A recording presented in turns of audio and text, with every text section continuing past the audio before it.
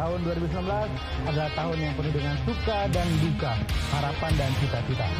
Di sini, di Balai Kota Bogor, semua harapan dan cita-cita dari warga direncanakan untuk dilaksanakan dan dituntaskan. Karena ikhtiar dari pemerintah kota adalah untuk menjemput mimpi seluruh warga.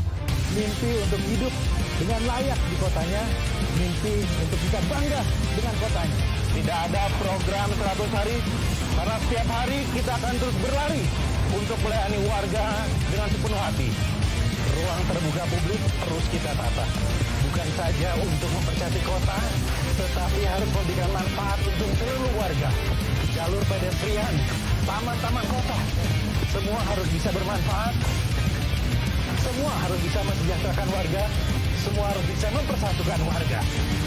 Cara soal penghargaan, yes! Kota Bogor selama tahun 2019 mendapatkan 81 penghargaan, baik nasional maupun internasional. Wajar tanpa pengecualian yang ketiga dari BPK. Pelayanan publik terbaik dari Kemenpan, Satya Rencana Pembangunan dari Presiden Republik Indonesia dan kota paling inovatif di Indonesia. Tapi saya tidak berlari sendiri. Saya berlari bersama Wakil Wali Kota, Sekda, Kepala Dinas, Camat, Lurah, dan seluruh birokrasi di Kota Bogor. Assalamualaikum warahmatullahi wabarakatuh. Hari ini tepatnya tanggal 4 November 2021 paguyuban warga Sunda Samarinda kehadiran tamu orang nomor satu dari Bogor yaitu Bapak Bima Arya sebagai wali kota Bogor untuk silaturahmi. Kita ikuti liputan berikutnya. Waalaikumsalam. Selamat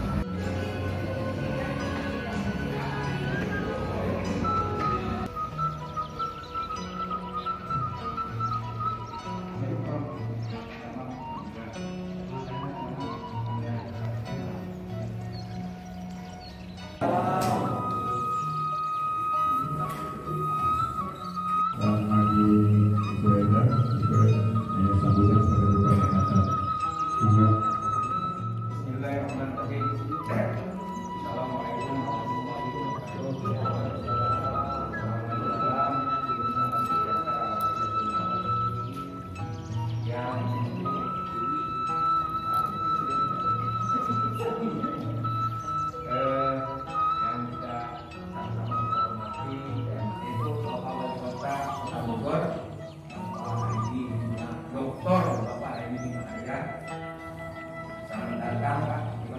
Samarinda mudah-mudahan pemerintah dan acara kegiatan asosiasi pemerintah kota seluruh Indonesia dan kebetulan beliau adalah yang ketua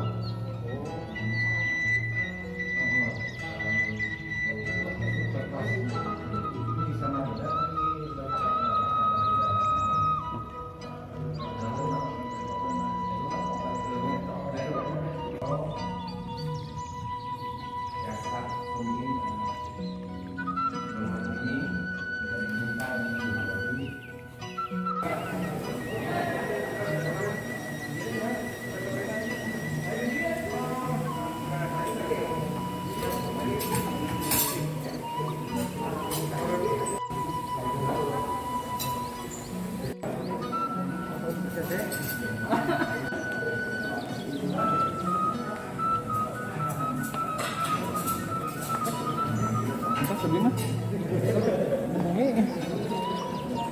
Ayo Persib main. Ya. Ayo nak. Masak dulu. Ayo. Anak, anak.